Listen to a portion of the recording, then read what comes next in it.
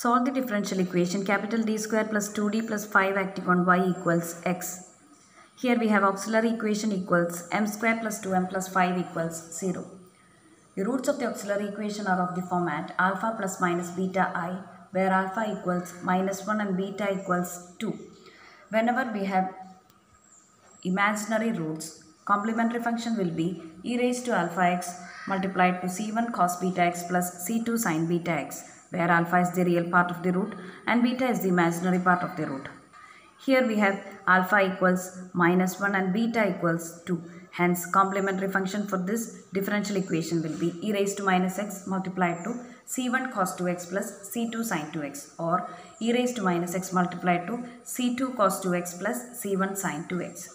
In order to find out pi, here since the RHS is of the format x raised to m, we have the particular rule 1 by f of d acting on x raised to m has to be evaluated such that f of d should be transformed as k times d raised to p plus 1 plus g of d the hard inverse acting on x raised to m.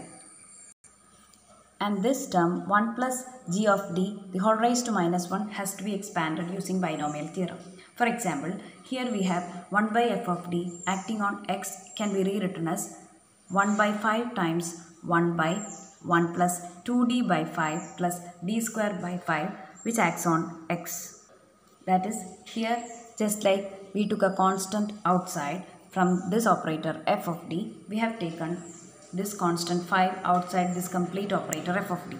So that f of d equals 5 times 1 plus 2d by 5 plus d square by 5. In order to find out the operator 1 plus g of t the whole inverse, what we do is we take this operator as the numerator. When this operator is appearing in the numerator, it will appear along with a power equal to minus 1. Just like we have 1 by y equals y inverse, we have 1 by 1 plus 2d by 5 plus d square by 5 equals 1 plus 2d by 5 plus d square by 5 the whole inverse. Now we have found the operator 1 plus g of t the whole inverse which acts on x which is 1 plus 2d by 5 plus d square by 5 the whole inverse which acts on x. By binomial theorem we have 1 plus y the whole inverse equals 1 minus y plus y square minus y cube plus etc. Here we have 1 plus 2d by 5 plus d square by 5 the whole inverse equals 1 minus 2d by 5 plus d square by 5 plus etc.